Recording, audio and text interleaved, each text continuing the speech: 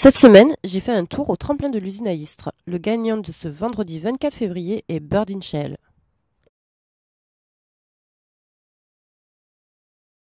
J'ai également été au Sixty Bar à Marseille, qui propose chaque semaine des concerts acoustiques. Lors de mon passage en cuisine, j'ai eu l'occasion de rencontrer Didier, un compatriote belge, qui m'a fait goûter l'un des meilleurs moelleux au chocolat de toute ma vie. Je vous invite à découvrir ses recettes sur son blog macuisinededidier.eclatblog.com.